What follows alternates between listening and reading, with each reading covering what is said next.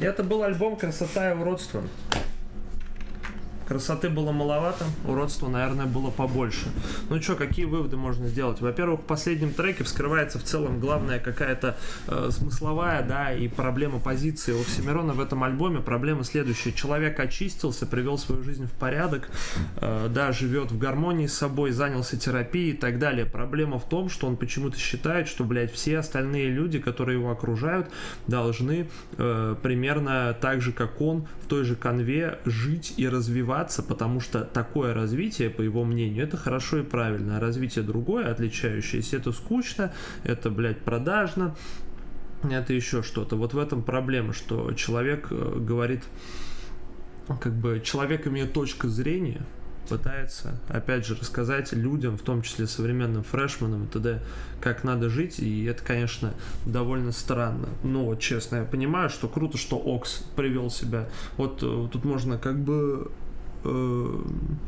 апеллировать к словам у бывшей женщины, что круто, что ты там провел полгода, полтора года терапии, круто, что ты привел себя в порядок, но не значит, что мы должны жить так, как ты, не значит, что мы должны быть тобой. Абсолютно точно нет. И с таким Оксимироном мне себя ассоциировать очень трудно. Большая часть альбома. Я понял, что вот э, последний трек, да, который фиточек с монеточкой, судя по всему, э, если я правильно понял, это монеточка, он раскрывает отличную другую проблему релиза. Проблема в том, что это все было бы гораздо лучше звучало, если бы здесь практически все треки были фитами. Фиты бы большинство вот этих душнарских треков, фоновой музыки бы вытащили, дали глотков свежего воздуха. Единственное, единственное, на что есть надежда, на то, что, возможно, он выпустит делюкс. Если он выпустит делюкс, возможно, будет больше хороших треков. Пока здесь три хороших трека. Это «Тень», это «Мы все умрем», и это трек «Непрожитая жизнь». Также неплохими треками являются трек «Грязь» и трек «Эспрессо Тоник», на мой взгляд. Все остальное, конечно, какая-то в основном шарманка. Честно, мне, ну, я послушал этот альбом без удовольствия, и, к сожалению, чудо не, как бы чудо не произошло. Э, биты крутые, биты крутые, очень много крутых битов. Проблема в том, что на них практически на всех э, одна и та же однообразная читка. Вот. Поэтому, что сказать про этот релиз? Не знаю, послушал без удовольствия. Достаточно тяжелый, достаточно большой, полновесный мастодонт, который можно было бы урезать в два раза. И я не считаю, что он бы стал хуже. Вытащить такие более-менее живучие треки, и, возможно, от этого релиза было бы э, какое-то более приятное ощущение. Сейчас хз. Я, мне кажется, может понадобиться только, какие, может понравиться только каким-то безумным фанбоем, которые, в принципе, все схавают Оксимирона. Несколько треков, наверное, уйдет в народ. Какой-то станет популярным в ТикТоке, действительно, Алишера будут обсуждать и так далее. В целом, э, этот альбом послушают, у этого альбома будут высокие места в чартах. Э, проблема в том, будут ли они у следующего альбома, потому что еще один такой я слушать не готов. Слышь, поехали курить, качешь, не могу не предложить. Какая же духота в чате. Реально какая жизнь. Такие песни. В стране женщин. Как завещал нас. Нормальный альбом для тех, кого заебало тиктокерское говно. Кальян Хуян, фрешмены. Нет? Ави, минут.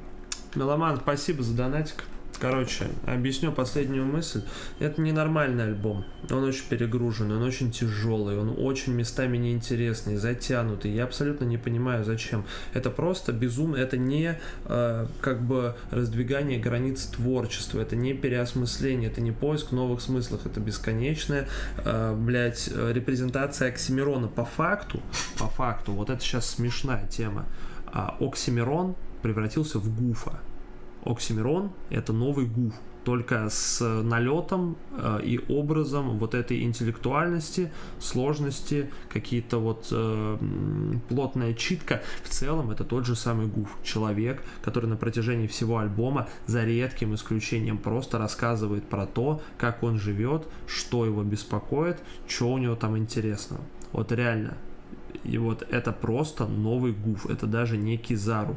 Очень мало прикольных панчей, очень мало интересных моментов, практически нет экспериментов со звуком. Реально. А, то есть этот альбом и Оксимирон, скорее всего, как и гуф. перейдет, если он не напишет несколько синглами каких-то фитов, которые станут а, поп-хитами, как Гуф, например, да, или какой-то совместный альбом, но Оксимирон, видите, очень мало коллаборирует. И поэтому есть одна проблема. Оксимирон превратится из, блядь, а, вот этого локомотива рэп-игры, на который все надрачивают, в низшего музыканта, высокого уровня, но низшего музыканта, которого будут слушать люди, которым интересно, что там у Оксимирона. Ну вот и все. Хорошо это или плохо, я не могу судить. Я не говорю, что это плохо, я просто предполагаю, что скорее всего так и будет. Вот. Трек «Мох» вообще-то был поугарнее, честно говоря, всего этого альбома. Вот трек «Мох» я бы, блядь, еще послушал, честно скажу.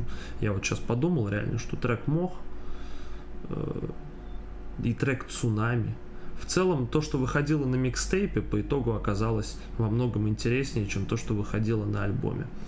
Вот что еще смешно.